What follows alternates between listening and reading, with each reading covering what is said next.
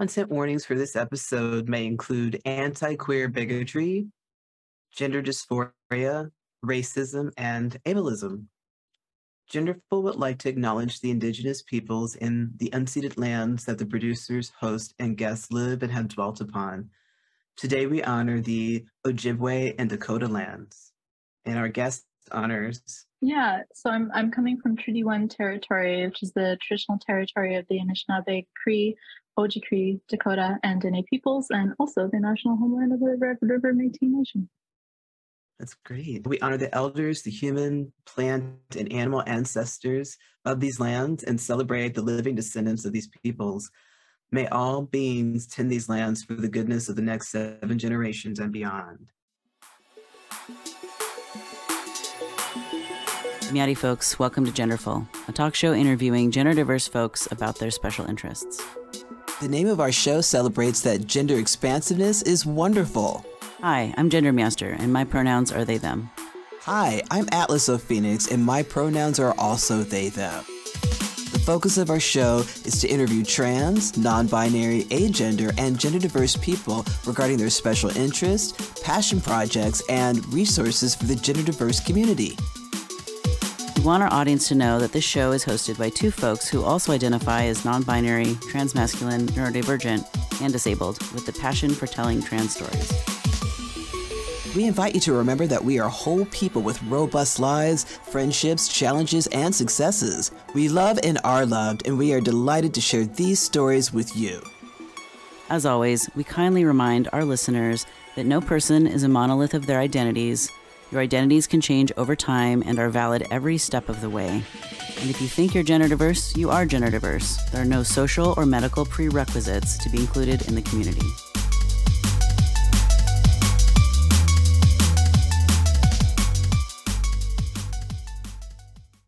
Welcome to Genderful, episode 83. This week, our guest, Rhael McGregor, they, them, is chatting with us about art, autism, and gender. Welcome, Rhael. Thanks for being here. Rhael is a two spirit artist working in comics and animation. Meowster found them through their work in a comic anthology titled The Woman in the Woods and Other North American Stories. Welcome to Jennifer Genderful. Thank you. I'm happy to be here. Good. Just some questions that we're going to start off with today. What might be things that you can trace back to your youth that indicated that you might be gender diverse someday? I think it's like kind of complicated because I never really thought a lot about gender growing up. I always just oh, was myself. It, I like and i guess unconsciously when like like around puberty when everyone starts to kind of be set apart, I started like, I felt like I was playing a role. But for the majority of my life, I've always just been, and my own understanding of myself didn't come from like a place of like, oh, I am a woman, I am a man. It was just that I am me. So I guess like I have like a, a lack of in some ways, but also I don't know. yeah. yeah. Yeah, I relate to that. I'm just me. So yeah, I think I've always been kind of like that ever since I was little. So this is a great question. Next was how has your relationship to gender evolved over time?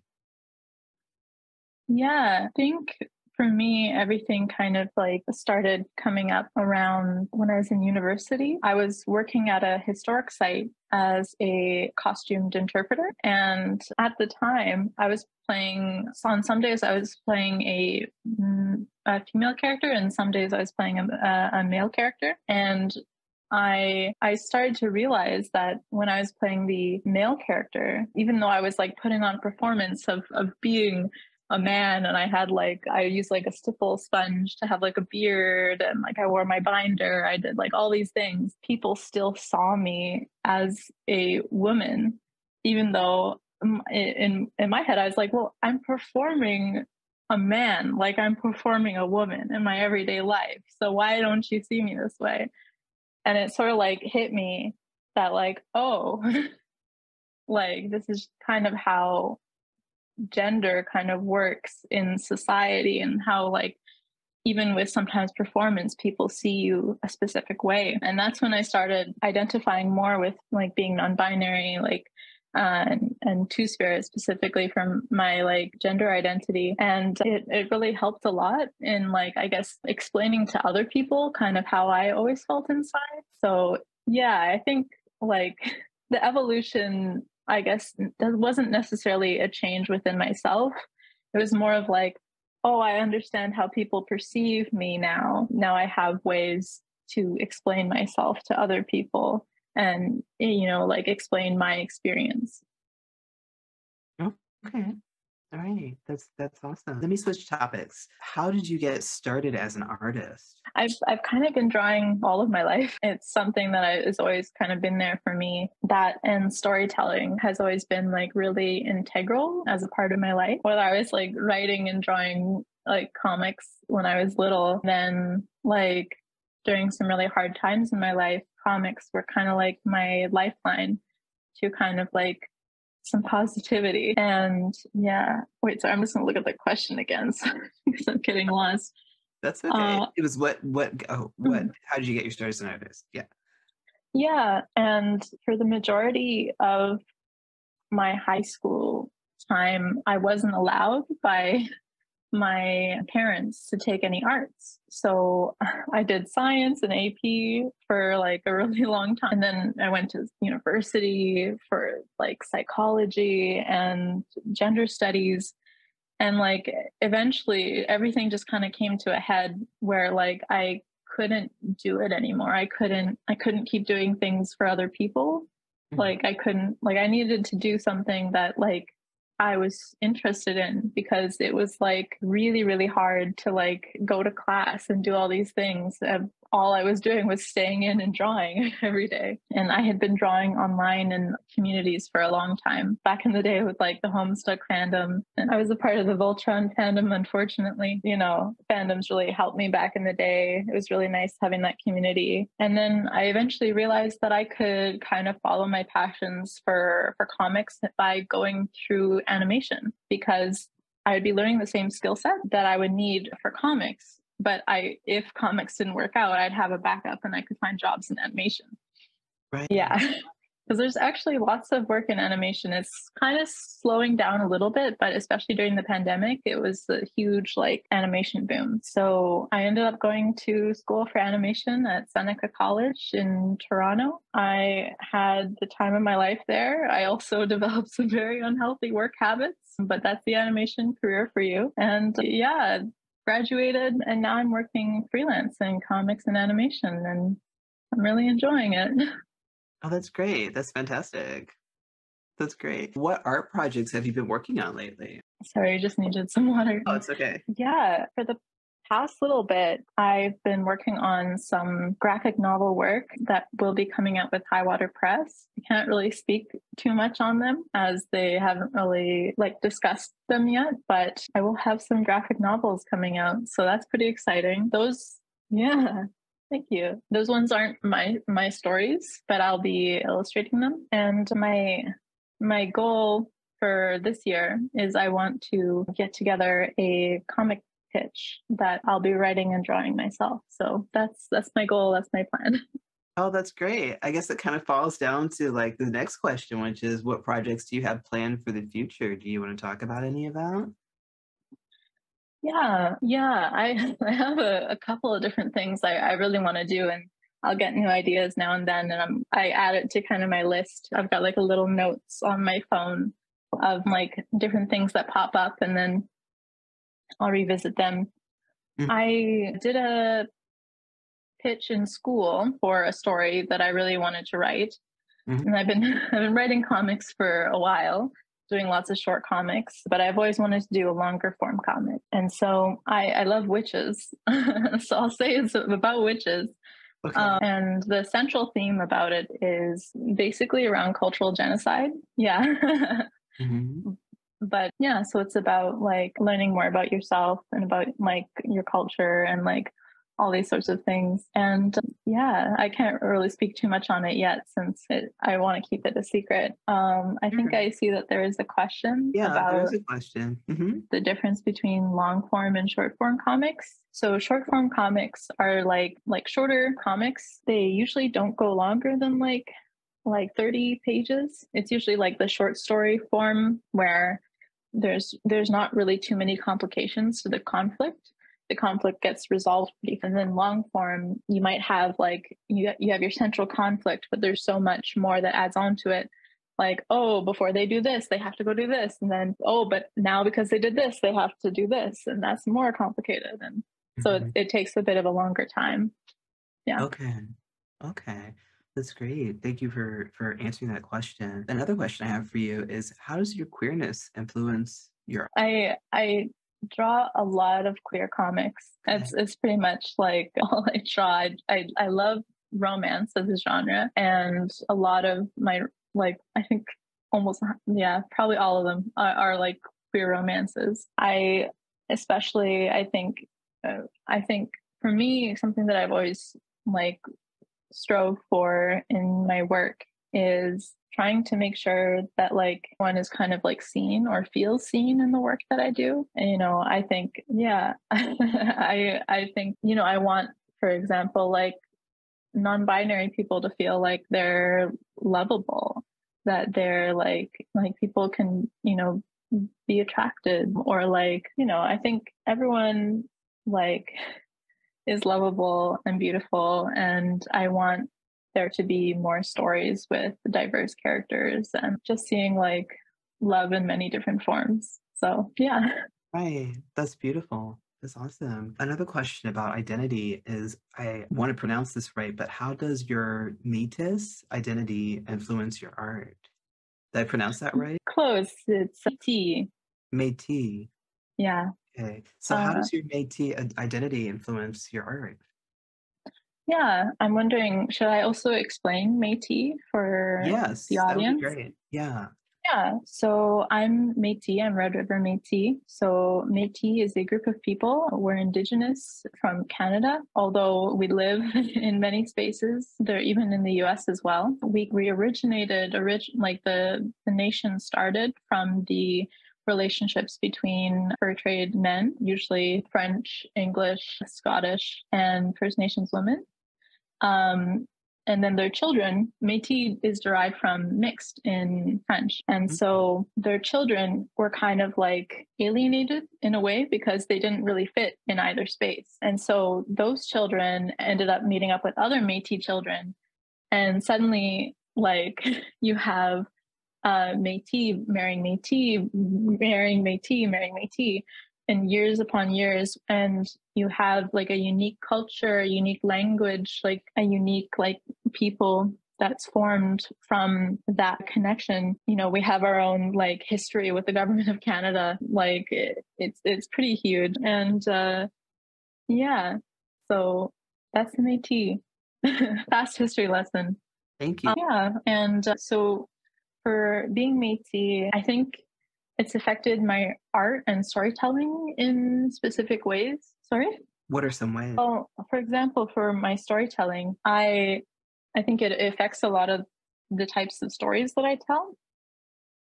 So, for example, I mentioned with my pitch and in regards to like cultural genocide and retaliation, you know, even though like I might not in that pitch be directly talking about like, for example, like how does the Canadian government reconcile with like the the the cultural genocide of the Métis people? You know, like that might not be what I'm talking about specifically, but like those things, like in a broader sense as well, I think are like you know other issues that impact my community as well. They're all things that are pretty important to me and in the stories that I tell. And I think as well, like I've had the like honor of like directing and leading a few different projects and I think, you know, my identity also impacts the way in which I lead as an artist. I I, I want to make sure that, you know, everyone's voice is heard, that everyone is on the same level.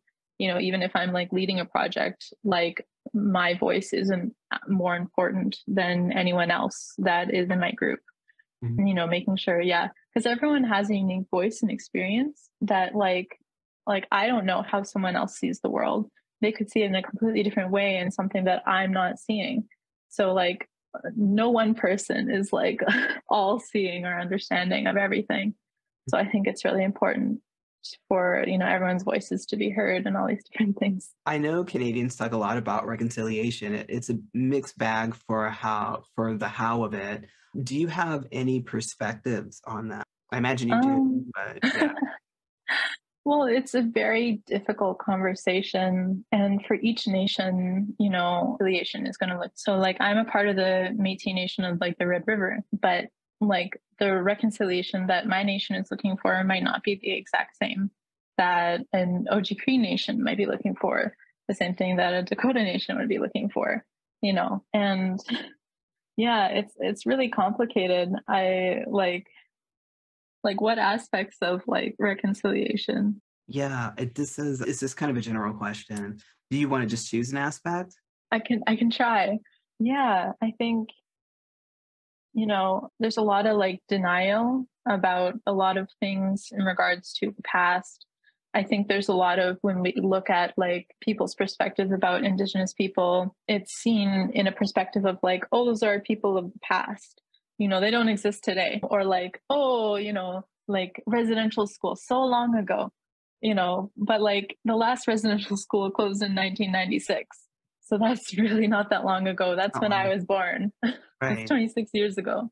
Right. At least that's in Canada. I have no idea what that is for the States or for other parts in this world, you know? Mm-hmm. And like we talk about like the generations that it takes to heal from things like, and like how, like, you know, like for example, like, you know, I have friends that they themselves didn't go through residential school, but their parents did. And like even though they didn't like go themselves to residential school, there's still a lot of things that the effects of their parents going to residential residential school affects them. And can it takes talk... Oh, go ahead. Oh yeah, sorry. I was going to say, can you talk a little bit about what residential school is as comfortably as you feel? I just don't know what it is myself. Oh, yeah, yeah. totally. So residential school was it was run by the Catholic Church as well as the government of Canada, kind of like hand in hand. Mm-hmm. Um, and it was to to I, I don't I don't like using the like slur, so I'm not going to use it, but like to kill the indigenous within a child. And what they did was they stole children from their homes. They took them away from their and they would take them into a school where often like they were like taken away from all their culture. They couldn't learn their language. They were beaten or hurt if they learned their language or were speaking or did any sort of thing related. You know, their hair was cut, like all these different things. There was a lot of like abuse that was happening. Like a lot of the children died. And there often the kids didn't get to see their parents again. Or if they returned back to their community at some point, they were so disconnected you know like when you take like a child away and they don't learn how to form connections and they're like constantly being like abused and they they they don't have their culture they don't have that connection. Like it's no wonder that like when they had their own children like it's like so difficult for them to connect. And there's often kind of that cycle that happens as well. So yeah it's it's it's really like it was a really horrible part of Canadian history. And I, I think there was some in the US as well, other parts of the world as well. So, you know, it wasn't that long ago. right. It wasn't. Not at all. Not at all. What what are some things that you love about being Métis? And what are some of your favorite parts of your culture? Would you like to talk about? I think it's it's kind of a difficult question because I I really struggled with identifying for many years like because i mean you see me i look very white. So there's a lot of you know privilege that comes with that. And i thought for a very long time that like you know like like that i guess like because of the privilege that came with that that like oh like all the like cultural genocide all those effects it's not that bad you know like and like it is like its own experience because like there's a huge privilege in in like how I am. Like there's like a lot of my friends, a lot of their families, like they're like racially profiled on a daily basis. They're not safe. Like it's like horrible. I mean, especially, you know, in Winnipeg, like the majority of the population here is indigenous. And like I see how people are treated.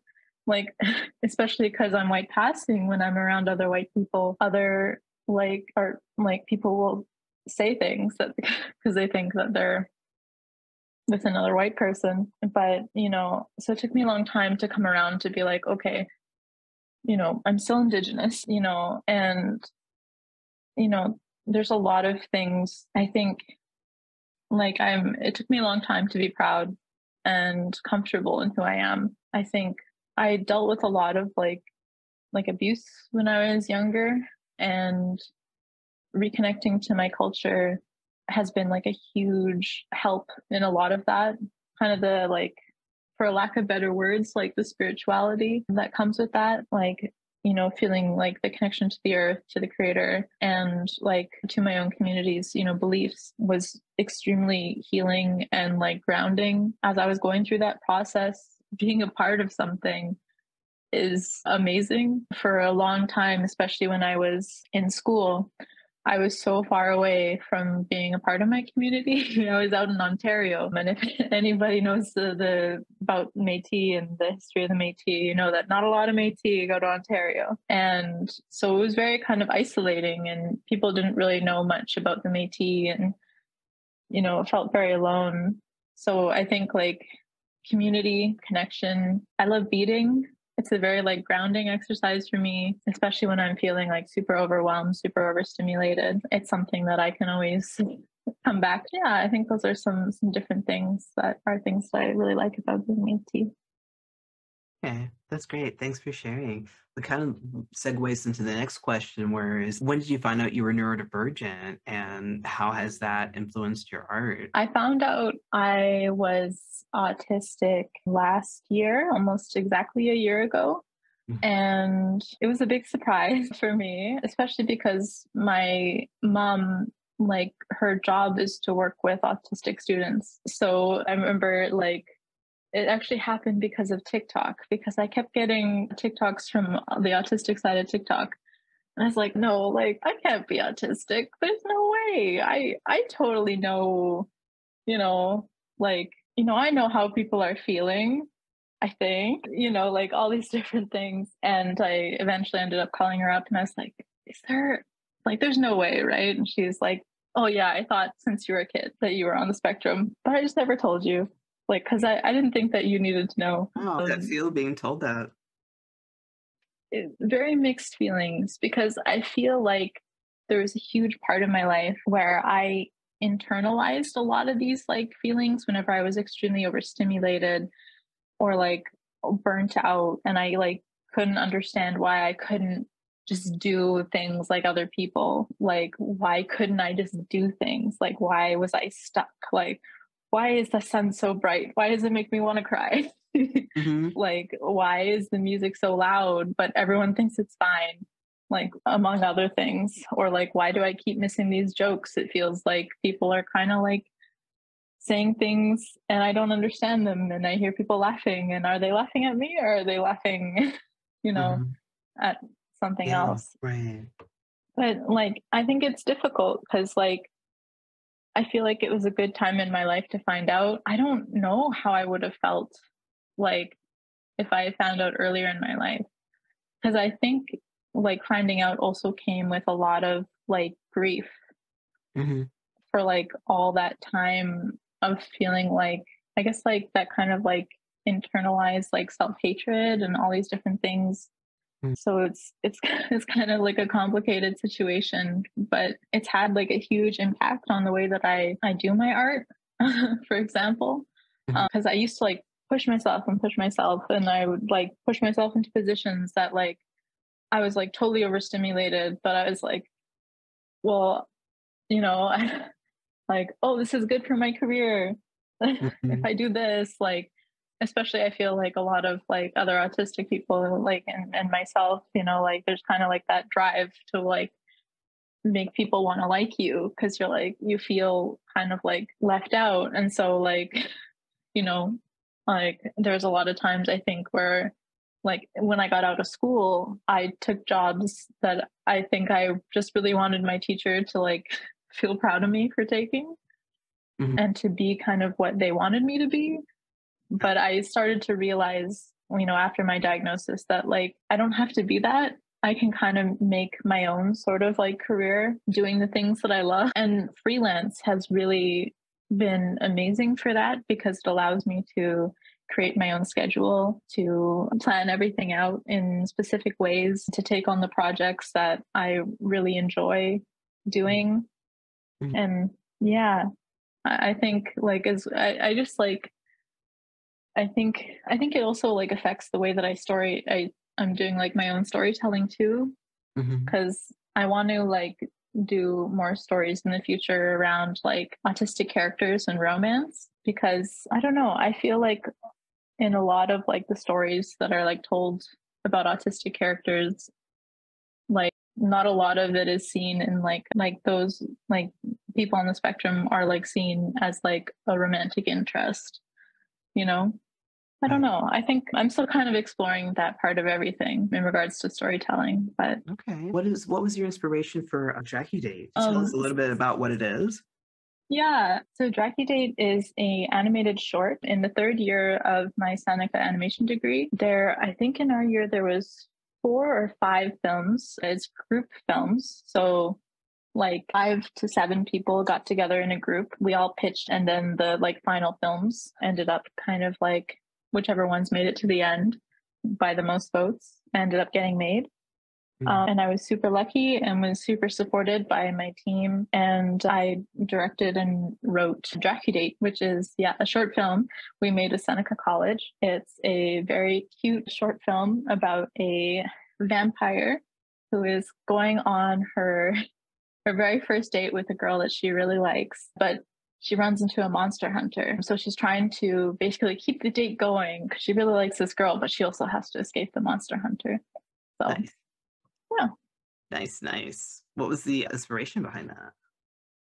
Yeah, I had been writing kind of a lot of like short, like uh, like sapphic sort of things for a while, and you know, I guess like I wrote if anyone was around on like Tumblr in like 2004 no not 2014 2017 2018 i wrote a comic called tinder and it was about a witch who every time she sees her crush her hair sets on fire you wow. know i i yeah you know i i kind of took the story structure from that short story. I i wanted to make a like a queer short film for like our final films that would that had been my goal since first year. So and i knew i wanted to do monsters because i love monsters. I think also the queer audience usually loves monsters.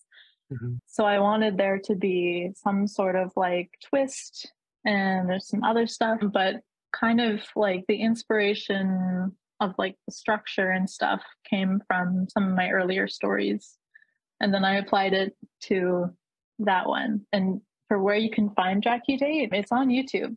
so you can type in DracuDate and it should probably be the first the first one there. I'm gonna check that out today. I want to see that.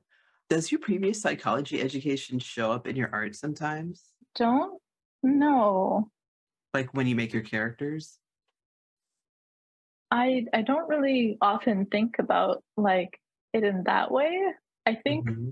At the same time as psychology, I was taking gender studies. And I think maybe like that part of my degree was perhaps more impactful in like my storytelling because it really like opened me up to because like at that time in my life I hadn't had a lot of experience in hearing a lot of other people's stories and experiences and it was really kind of a turning point for me in like like really like reaching out and trying to like understand and continue learning about everyone's different experiences different stories the importance of representation all these different things. So i think you know that part of my degree that, i didn't finish you know was was important All right. Well, thanks for that. Is there anything we missed about art, autism, and gender that you'd like to make sure you say before we move to the concluding questions? I don't quite think so. There's nothing that I can really think of. Okay. Let's try one more question here. What is your advice for aspiring comic artists and animators? Just go for it. Just make make what you want, enjoy making it, and post it and go for it. Because i know that like a big thing that holds people back is you know the feeling of like what if no one likes it? You know like oh like you know is this even good enough? You know all these different things. But you really never know like my comic tinder that went like viral on tumblr i had sold that at a convention like a few weeks before i posted it and it didn't sell very much people didn't really think much of it. I posted it online and it like blew up. And through like online sales, I was able to pay for half of a year of education at my school. Wow. So, you know, like, and at that time, I kept thinking, like, oh, the story isn't good enough. Like, oh, what if no one likes it? It'll probably only get like five likes or whatever. Mm-hmm. But like, I had no idea that that would have happened, that that would have like touched people like mm-hmm. in a way you know and there's a lot of people that got messages that were like oh like this is really important for me to see you know like like it, i yeah i don't know. I, mm-hmm. I think like you never know. So go for it. Try it and continue making things. Continue going. Post it. Go for it nice Nice. Yes, unfinished degrees rise up. I'm with you. A couple last questions. We talked about this when we were setting up. So here's your favorite question. Can you ex- share an experience of gender euphoria? Yeah.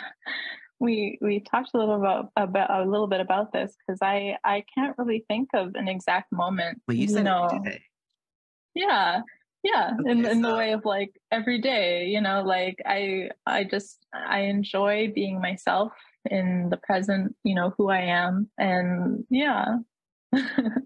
okay. That's great. All right. What would you like to make sure folks know about your perspective on gender and non binary trans issues?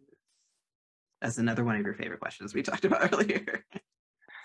oh, no. I, I totally thought of an answer to this too, and then I forgot it. I guess as kind of like as an add on to what I was saying about just go for it.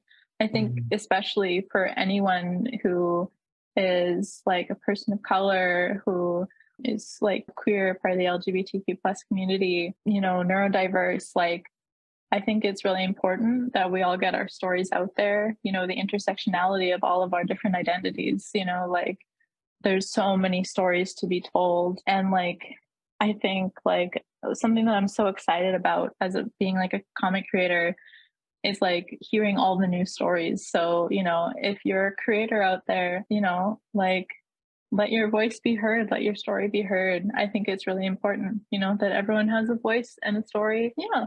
That's, that's what I'll say. So, thanks for coming on the show. I'm going to just do some cross promo for you. Rhael McGregor is a queer Métis artist who works in comics and animation. And their work centers around creating fantasy and sci fi based romance stories that make people smile. And the Twitter handle for it's called Raise Draw, Drawings at twitter.com. And socials would be Rays Drawlings, Insta, Twitter, and Tumblr. Here's this week's counter query that you can answer on our social media platforms. How do your various identities influence your creative works? How do your various identities create your works? And so let's see. Coming up soon, next week, there will be no Genderful, but on April 3rd, we'll be interviewing Erin Embry about gender, spirituality, and creativity. Community updates, Trans Day of Visibility is March 31st. Hope you'll have a great one. And that's really about it. Do you have anything else you want to add at all? No, I think I'm good. I I hear that chat is saying that the the comics look lovely and wholesome. So thank you very much. Thanks for having me on. I really appreciate the chance to like speak. Yeah. Sure. It was lovely to have you. Thank you for taking the time to, to spend time with us today. We really appreciated it. Genderful would like to thank our guest for being on this podcast. If you'd like to catch us live, join us on Mondays at twitch.tv forward slash gendermeowster. Show notes will appear in the edited version of the show on Fridays on both YouTube and podcasting platforms. If you have a question you would like the host to answer or are gender diverse and would like to request an interview, please send an email to genderfulpodcast at gmail.com or sign up via the website at genderfulpodcast.com. As a gender diverse community, the Clowder wants to assure our listeners that we are prepared to moderate our spaces. We will get positive and negative feedback on these shows and topics, and we have a moderation team on our channels, socials, and Discord server ready to deal with this. Please join our Discord server at discord.gg forward slash meowster to meet the community and get a regular digest of Solidarity resources. You can also support us with subscriptions on Patreon, following and reviewing us on your favorite podcasting platform, or engaging with our posts and content on social media at GenderfulPod and at GenderMeowster. You could take a few moments to also rate the show. We will post any five star reviews on our socials, so get creative. Mention a special interest of your own, a project you're working on, or even say hi to your comfort person in your review. What power! This show is made possible by volunteers, tips, and subscriptions. Shout out to the folks helping us coordinate guests, edit the podcast, moderate the live chat, and post on our socials. Artist credit for Genderful. Genderful's theme song is called Hope by Free Range Megs, aka Soma. The Gender Meowster logo was designed by That's Barnaby and edited with consent by Transgriffin. Genderful's pre show is wrangled by Juice Juicetex. Genderful is edited and mixed by Trans Griffin and Alexis Vandam. Genderful's social media is managed by Queer to Help. Genderful is hosted by Atlas O Phoenix and Gender Meowster. Genderful is the intellectual property of Gender Meowster. All rights reserved. Trans, rights, are human rights. That's right.